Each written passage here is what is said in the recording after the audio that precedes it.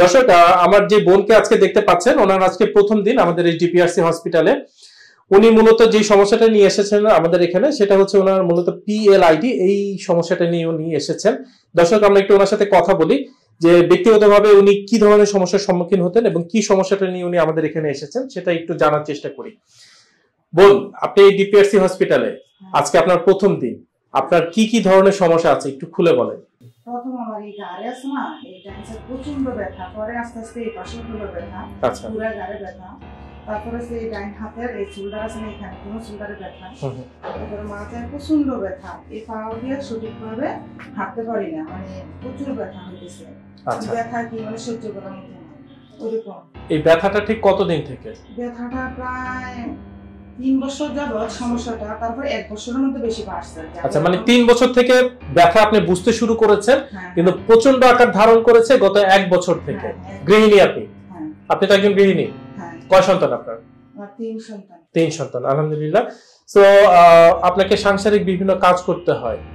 Move করতে হয় বাজারে যেতে হয় সন্তানদেরকে স্কুলে নিয়ে যেতে হয় বিভিন্ন ধরনের কাজ হ্যাঁ, আপনাকে হ্যাঁ, করতে হয়। হ্যাঁ। তো এই সাংসারিক কাজগুলো আপনি গত তিন বছর আগে কিন্তু আপনি স্বাভাবিক ছিলেন সুস্থ ছিলেন কোনো ব্যথা ছিল না। কোনো দুর্ঘটনার পর থেকে কি ব্যথাটা শুরু হয়েছে? মনে পড়ে এমন কিছু? একদিন ওই আমার ছোট মেয়ে ও আছে না মানে রুমে শোয়াই দিয়ে গেছে কান্না করতেছে দৌড় দিয়েছিলাম। দৌড় দেওয়াতে ভোগ করে গেছি করে দেওয়ার পর থেকে তা আঙ্গুল ফুলতো আর কি। হুম। ফুলতো তো অনেকে বলে কি যেটা জারালে ঠিক হয়ে যাবে। তারপর আচ্ছা। জারাইছে এমনি ফুলাটা কমে না আচ্ছা। আচ্ছা। এরপরে ওখান থেকে আবার ডাক্তার দেখাইলাম আমি। দেখানোর পরে ওনার কাছে কি কয় আঙ্গুলের গোড়াটা সুস্থ এরকম বলছে আর কি। আচ্ছা। ওইটা উনি প্লাস্টার হুম। পরে আবার ওনার প্লাস্টার পরে ইয়ে করলাম ছুটে ফেললাম তখন তো কাছে নাই। পরে এমনি আঙুলটা ফুলতো শুধু ফুলতো।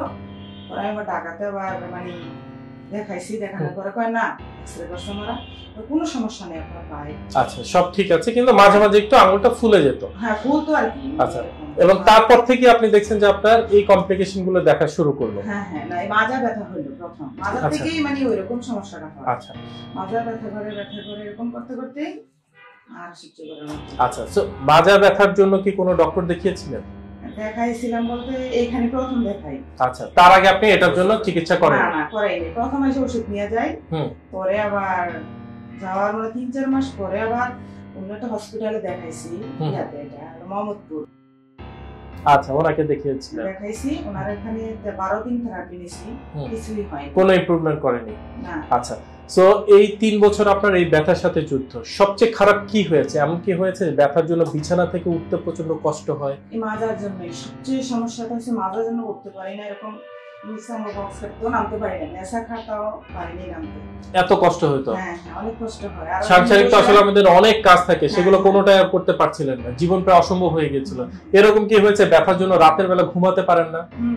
সারা ব্যথা এই পিঠের মধ্যে প্রচণ্ড ব্যথা ছিল। শুতে পারি নাই মানে ব্যথাটা সহ্য করার মতো না। সারা রাত কি গেছে সেটা আমি জানি না। এত ব্যথা। হুম। চোখের পানি কান্না এবং তখন কি এই জিনিসটা মনে হতো না যে আমি কি আর কখনো সুস্থ হব না আমি কি আর কখনো ভালো হব না এই জিনিসটা মনে হতো না? আরেকটা কথা ভুলে গেছি। মানে প্রথমের দিন উনত্রিশ রমজানে মানে রাত্রে স্যারি খাওয়ার পর শুইছি মানে ফ্লোরে শুইছি আর কি যে নামাজ পড়ব ওরকম টাইম পরে হঠাৎ করে আমার এখানে গাই দিল। আচ্ছা। গাই দেওয়ার পর থেকে আমি আর আছে না মানে গা উঠাইতে পারিনি। আচ্ছা কট করে উঠেছিল একটু। হুম হুম গাই দেওয়ার পর থেকে আর কোনো সত্যি ব্যথা হয় না পরে একদম সকাল করে মেডিকেল গেছি। সরকারি মেডিকেল তখন। যাওয়ার পরে ওনারা কাছে না হবে না। মানে ওনাদের যতটুকু ট্রিটমেন্ট দেওয়ার অতটুকু দিছে। হয় নাই। পরে আবার প্রাইভেটে গেছি। প্রাইভেটে কইতাছে না আপনি সাথে সাথে টাকা যান। এটা আমরা সম্ভব না। ব্যথা কমাইতে পারতাছি। পরে এখান থেকে ঢাকায় আসলাম ঢাকা মেডিকেল তখন উনি আবার ট্রিটমেন্ট দিল মানে আমার ডাক্তার আছে না ইয়া করছে।